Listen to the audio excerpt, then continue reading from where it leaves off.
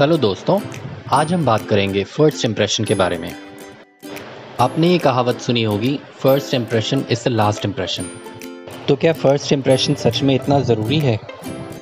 और अगर सच में फ़र्स्ट इम्प्रेशन इतना ज़रूरी है तो एक अच्छा फ़र्स्ट इम्प्रेशन डालने के लिए आपको क्या करना है? चलिए पता करते हैं। वीडियो शुरू करने से पहले अगर आपने हमारा चैनल अभी तक सब्सक्राइब नहीं किया है तो आज ही सब्सक्राइब करिए, साथ में बेल आइकॉन भी दबाइए। जब हम किसी से पहली बार मिलते हैं, उसका एक्सपीरियंस इतना स्ट्रॉन्ग और इतना इम्पैक्टफुल होता है कि उसी बेसिस पे हम डिसाइड करते हैं कि हम दोबारा से उससे मिलना चाहेंगे या नहीं। ये एक ह्यूमन साइकोलॉजी है और इसको प्राइमसी इफ़ेक्ट कहा जाता है।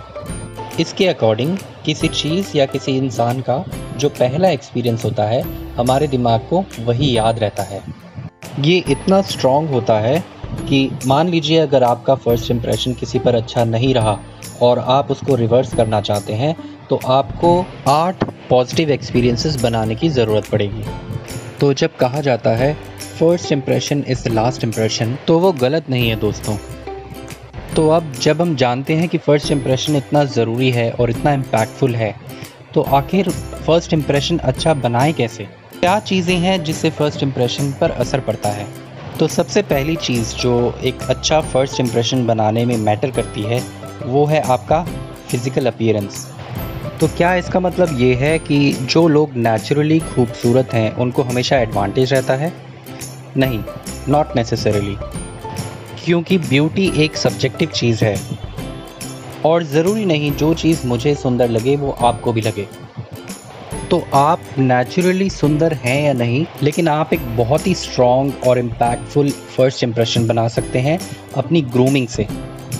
जब हम पहली बार किसी से मिलते हैं तो पहली चीज़ जो हमारा दिमाग चेक करता है, वो ये कि वो इंसान कैसा दिखता है।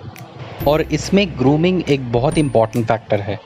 अगर सामने वाला इंसान वेल ग्रूम्ड है, यानी कि उसने अच्छे कपड़े पहने हैं, उसके हेयर वेल सेट हैं, उसकी फ़िज़ीक अच्छी है उससे एक अच्छी फ्रेगरेंस आ रही है। और उसकी बॉडी लैंग्वेज कैसी है? ये कुछ चीज़ें हैं जिससे फ़र्स्ट इम्प्रेशन का बहुत इम्पैक्ट पड़ता है।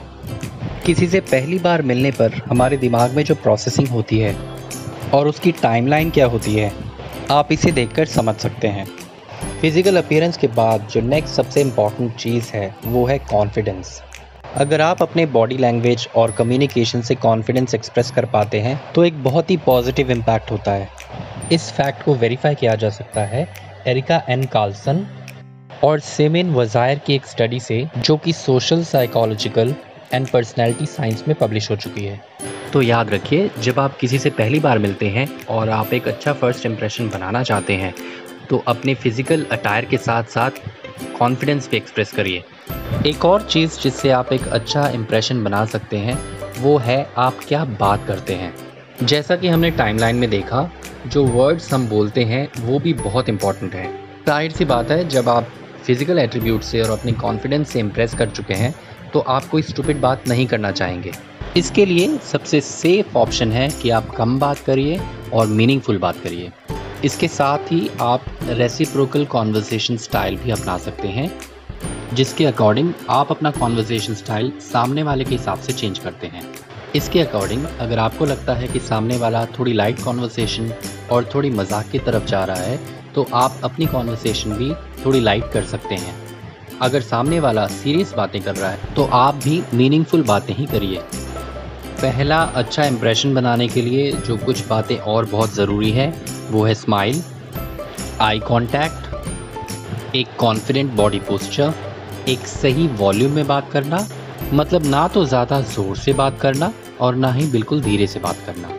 इसके अलावा अगर आपको हैंडशेक करने का मौका मिलता है तो एक फर्म हैंडशेक भी बहुत इम्पैक्टफुल होता है। लेकिन याद रखिए दोस्तों, अगर आप किसी फीमेल कलीग से पहली बार मिल रहे हैं और आप मेल हैं तो आप खुद हैंडशेक ऑफ़र मत करिए। अगर सामने वाला आपको हैंडशेक ऑफ़र करता है तो ही आप एक फर्म हैंडशेक के साथ रिस्पॉन्ड करिए। उम्मीद है दोस्तों, ये इन्फॉर्मेशन आपको अच्छी लगी। और कमेंट करके ज़रूर बताइएगा कि आप इन टिप्स को यूज़ कर पाए या नहीं।